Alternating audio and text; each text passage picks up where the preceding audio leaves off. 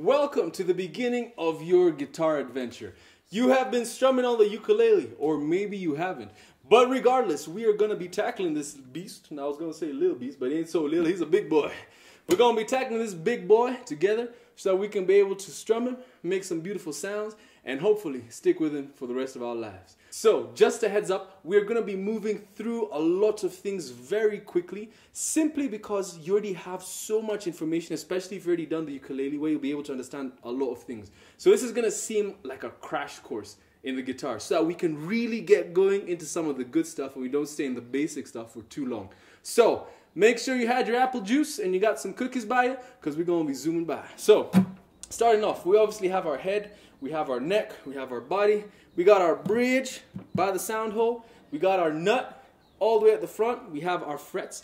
Notice how big the frets are compared to the ukulele. The rule still applies that you want to keep your fingers on the front side of every fret, especially now because the frets are way bigger. And the ukulele, your finger would kind of take up the whole fret, but here there's no way. Mm. And it's even worse when you're playing the bass guitar because it's like super fat. You can have one fret the size of two over here. So you always want to make sure you get the best sound by doing two things using enough pressure on your fingertips and making sure in the front. If you're not in the front, what you get is, all right? Doesn't matter where you are.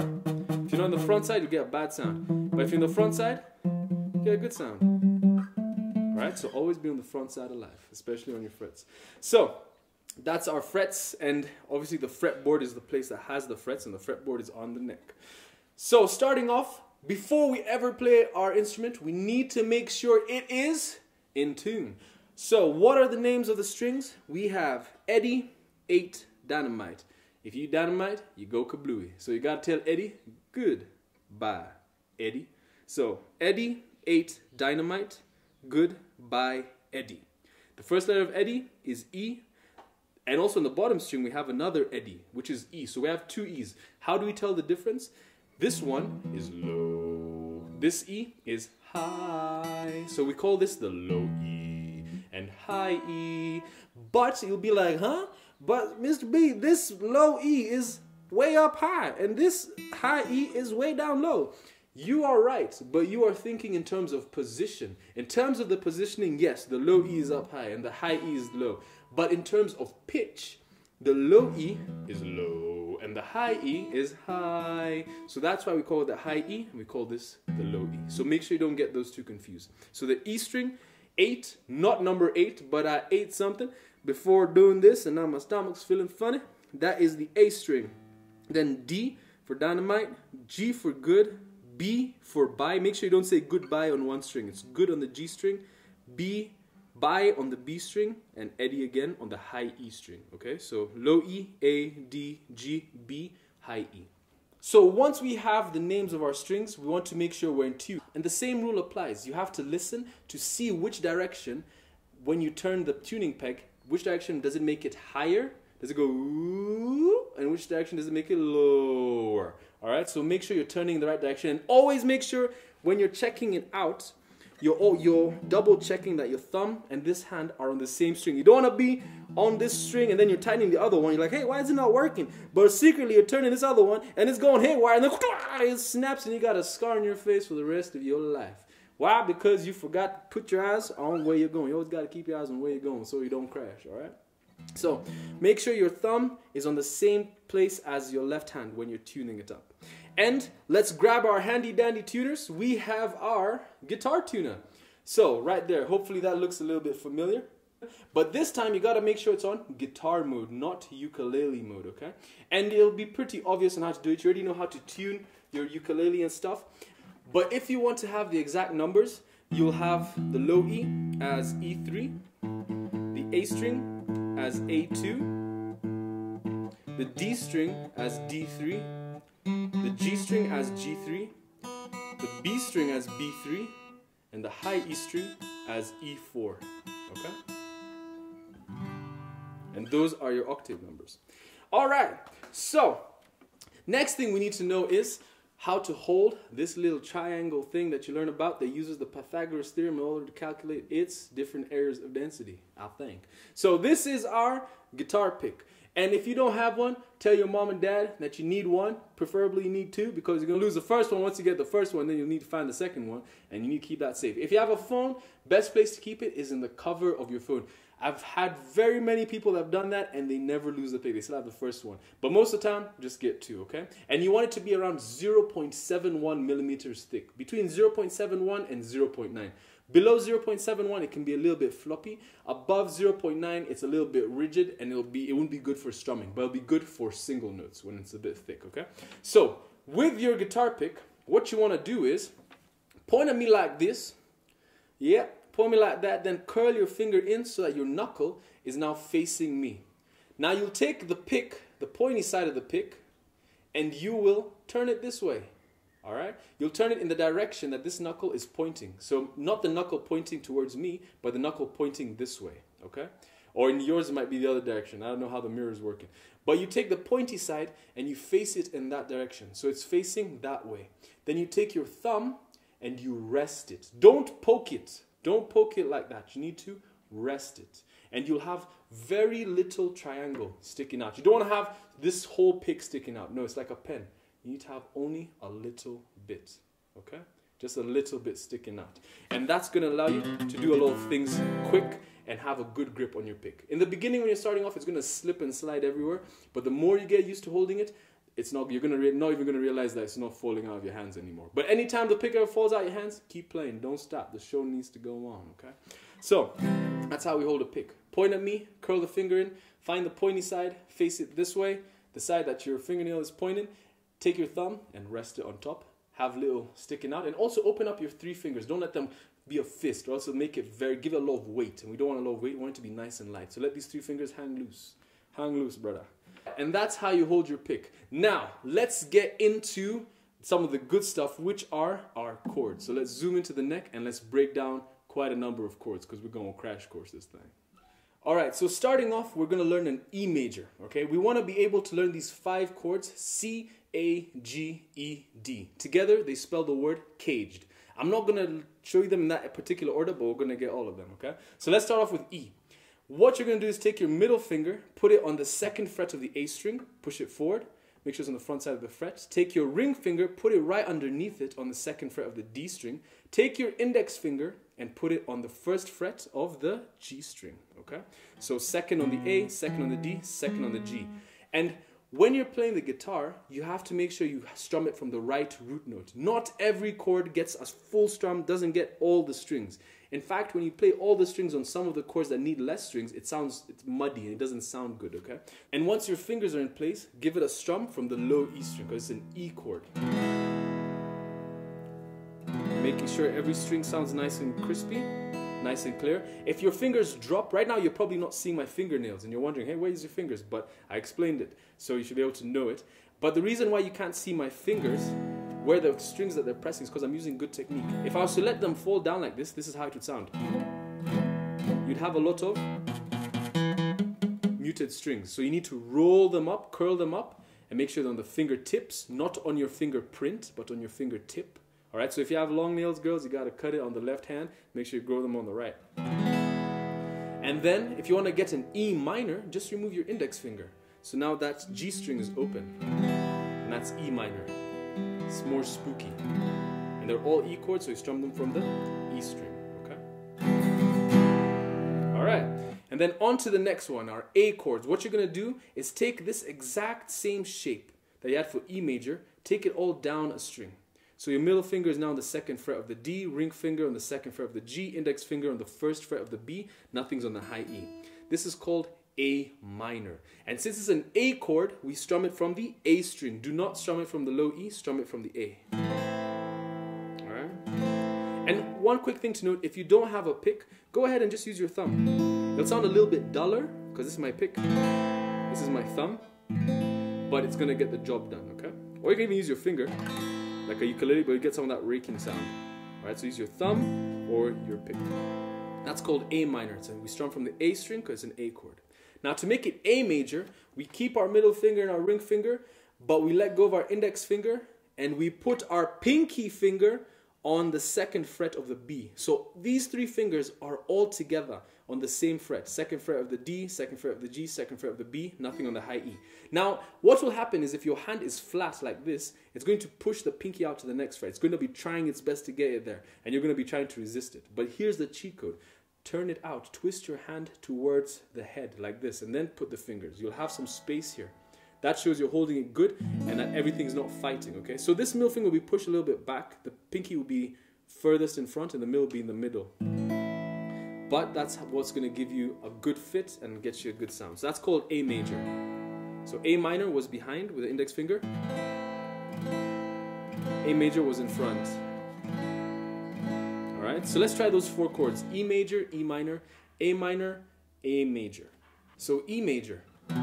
One, two, three, four. E minor. One, two, three, four. A minor. Take it down. Add that finger. Strum from the A string. One, two, three, four. A major. Pinky power.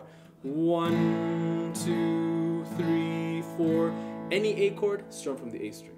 All right, let's go to some D chords. So what we have here is our D chord. Now, if you've played ukulele, all you have to do is take the G chord that you know in ukulele and put it on the guitar. A G chord on the ukulele is a D chord on the guitar. So your index ah. finger on the second fret of the G, ring finger on the third fret of the B, middle finger on the second fret of the high E. And you strum the, any D chord from the D string.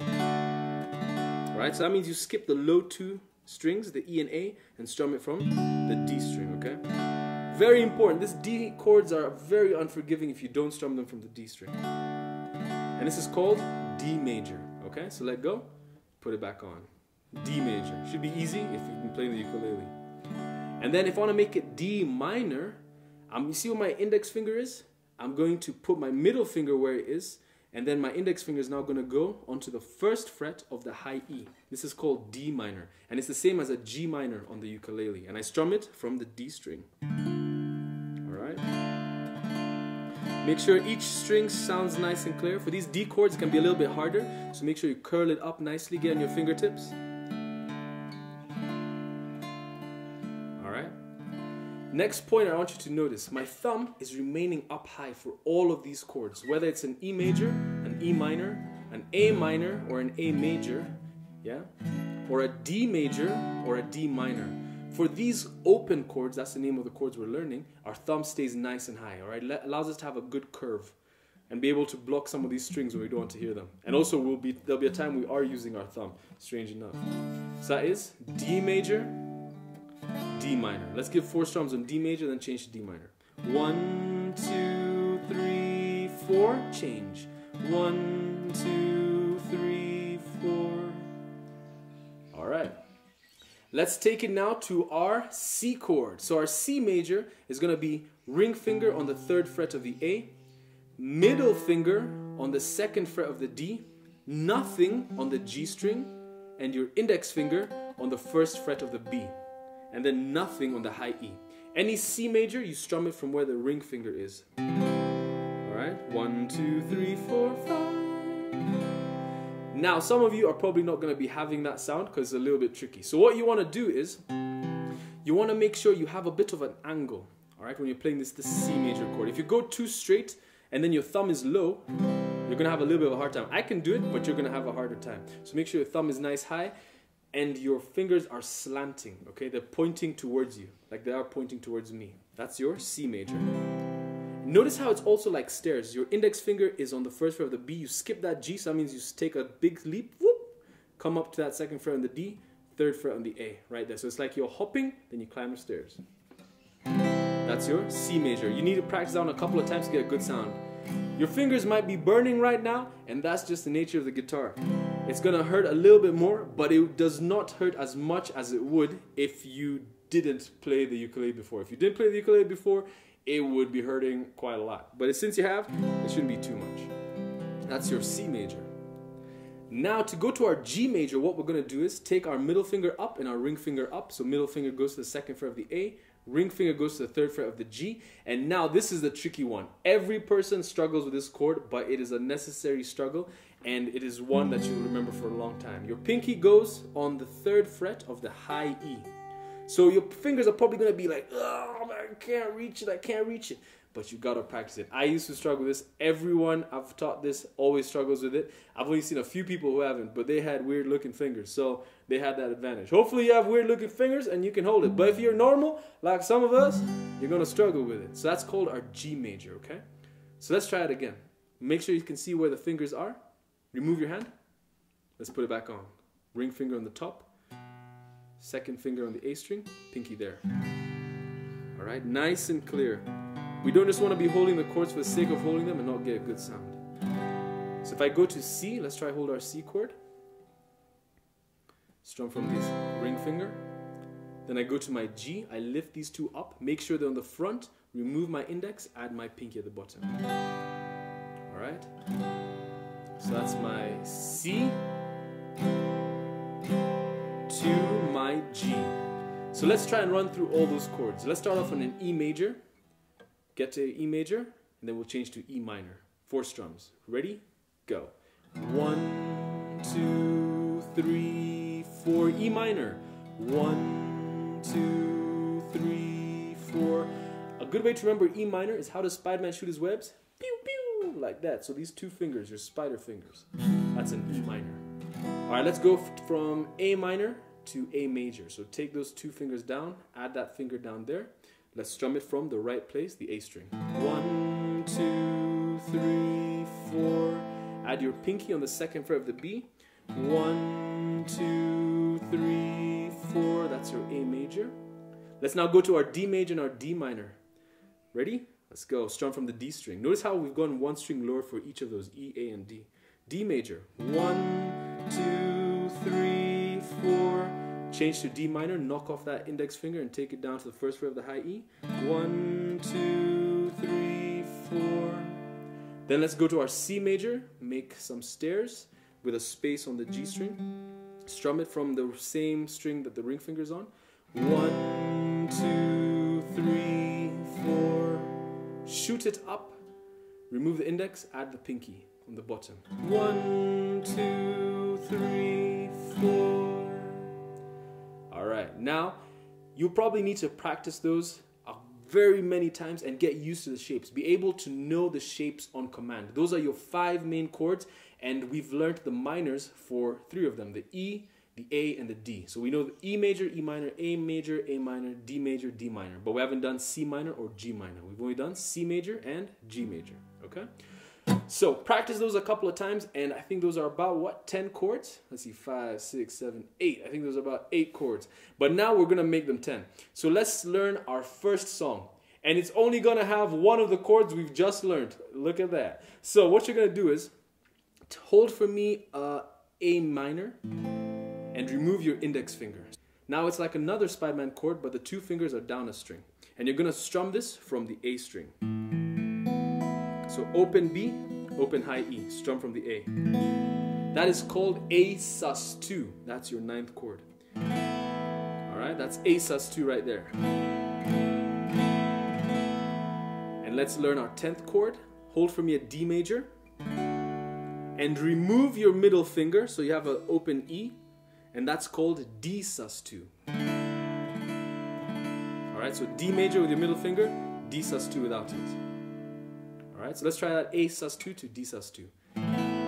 Two, three, four, D sus2. One, two, three, four. One more time. One, two, three, four. One, two, three, four. Now we're gonna go from this D to an E major chord. So I'm gonna slide my finger, I'm not gonna remove it, slide my index finger to the first fret of the G, add my middle finger on the second fret of the A, ring finger on the second fret of the D. So now I have my E major, but I didn't remove my index finger. I just moved it. I didn't remove it and add it. No, I moved it. So now I'm on my E major. All right? And for each of those chords, make sure you strum from the right root note. So what I have so far is an A sus2 to a D sus2, slide to my E major, then I'm gonna go back to a D, sus2, and then an E major, all right? And this is gonna sound like this. Do do do do do do do do do do do do do do do do do One, two, three, four, D sus two, two, three, E major, one, 4, D sus2, E major. So you're holding everything for four beats except that last D sus2 and E major, okay? So one, two, three, four. Strum it from the right string. E's from the E string, A's from the A string. E major. Then back to D from the D string. D. And then E. Da da dum bum bum. Ba da da da dum dum dum. Da da dum dum. Da da da da da dum. Da da dum. And once you've got used to strumming those with single strums, let's now finish up by getting our right hand with a strumming pattern that we already know from the ukulele called our basic rock strum. So mute the strings and give me a down, down, down, down. One, two, three, four. Down, down, up, down, down, up. One, two, it's, you should be playing it now. Down, down, up, up. Your turn. Down, down, up, up. My turn. Down, down, up, up, down, down, down, up, up, down, down, down, up, up, down. That's our basic rock, rock strum. Down, down, up, up, down, down, down, up, up, down, down, down, up, up, down. Your turn. Down, down, up, up, down. All right, now let's see if you can do that basic rock strum twice in a row. So down, down,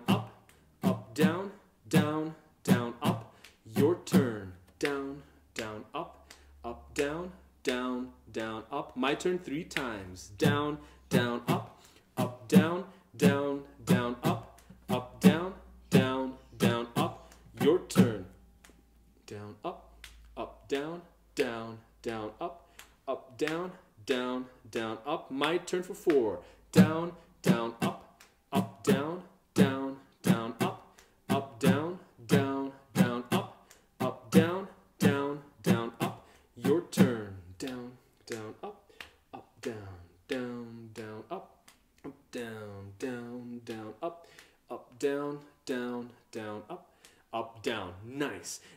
one thing you'll notice is when you're strumming, it's more from my elbow, okay? More from my elbow than anything else. However, you, uh, any good strummer always uses wrist motion. So one thing I love about moving from ukulele to guitar is you have that wrist action because you're always strumming with your wrist. So it's gonna make you a really good strummer if you came from the ukulele to the guitar because you're gonna have a nice loose wrist.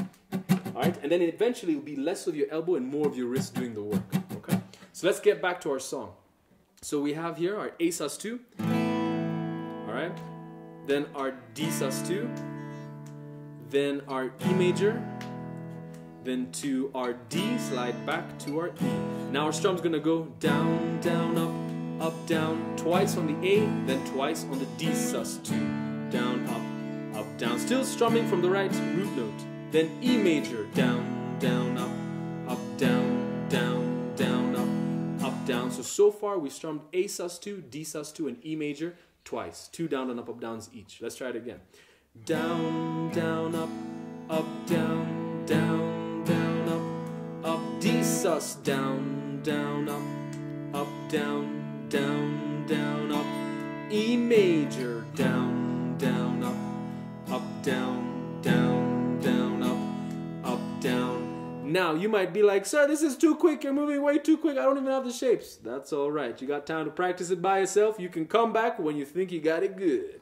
All right. So once you do all of those with two down and up up downs, we're gonna now split the down and up up downs. The D sus2 will get one down and up up down, and then E major gets one down up up down. So one on the D, one on the E, one down and up up down. Okay. So everything gets two, then D sus2 and E major get one at the end. Then you repeat. So it'll sound like this with the strumming. Down, down, up, up, down, down, down, up. Strum the D sus2 from the D string. Up, down, down, down, up. E major from the E string. Down, down, up, up, down, down. D sus2, then E major once. Down, down, up, up, down, down, down, up. Let's start again from beginning. A sus, down, down, up, up, down, down, da, da, dum, dum,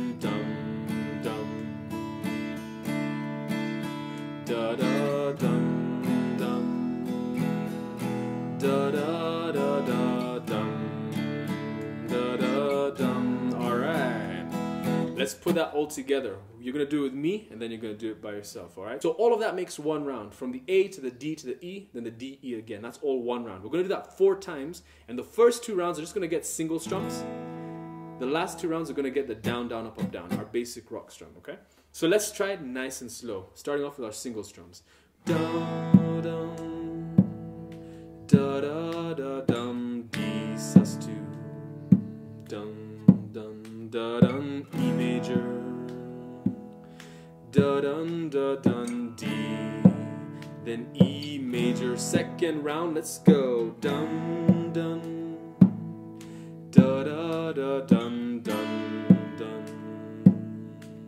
E major, da dun dun dun, da da da dun D, and then E. Now we bring in our strums. Last two rounds. Down, down, up, up, down, down, down, up, up, down, down, down, up, up, down, down, down, up. E major, down, down, up, up, down, down, down, up. D, then E, down, down, up up, down, down, start again, last round. Da dum, da dum, da dum, dum, dum.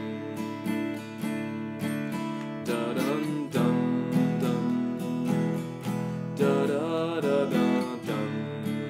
Da dum, da da da da dum. Finish on an A sus2, nice and airy. All right, now you're gonna do it by yourself. I'll play that melody, what I've been singing. You play those chords. Remember, first two rounds, single strums. Last two rounds, bring in your down, down, up, up, down. All right, ready? Get on that A sus2. One, two, three, go.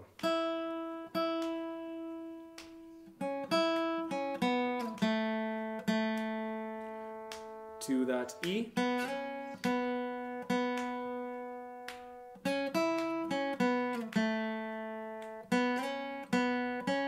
Second round. Still single strums. One, two, three.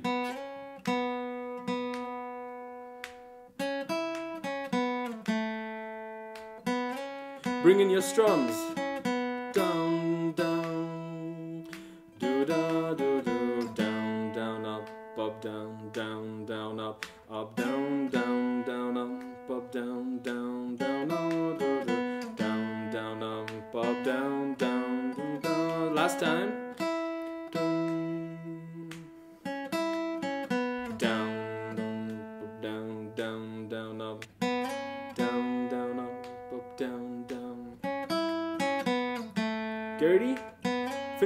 Sus2.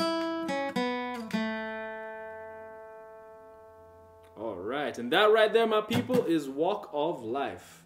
All right, and that right there is the song Walk of Life by Dire Straits. D I R E S T R A I T S. Go listen to it, and you'll know that you're able to play it. All right, now by the end of this lesson, you should be able to know the shapes for 10 different chords an E major, an E minor, an A minor, A major, an A sus2, a D major, a D minor, a D sus2, a C major, and a G major. If you know that, you know 10 chords and you're having a pretty good foundation. Practice them a couple of times so they really get stuck in your head and you can't forget them. And you'll be able to know, all right, this is how a C sounds. And make sure you get them nice and clean. It's harder to get clean sounds when you're playing it for the first time, but you still need to give attention. Your fingers are going to burn, but it's going to be worth the burn because you'll be making some good sounds rather than someone who just, it's like, all right, I put my fingers in the right place, but I'm not pressing, I'm pulling them the backside. All right. So those are our chords. That's how to hold or pick. This is the guitar. That is your first song, Walk of Life, Dire Straits. I'll see you next week for our next lesson.